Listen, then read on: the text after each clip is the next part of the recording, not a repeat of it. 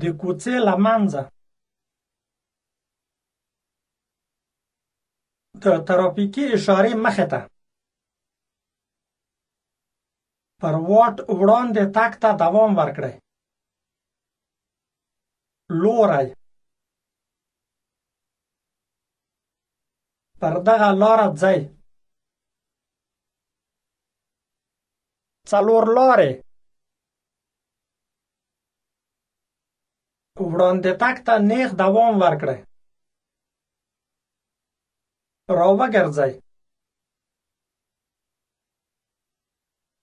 د بانک په څنګ کې په بله خوا کې نیغ مخامخ ترافیکي اشاره کیڼې خوا ته راوګرځئ ښۍ خوا ته راوګرځئ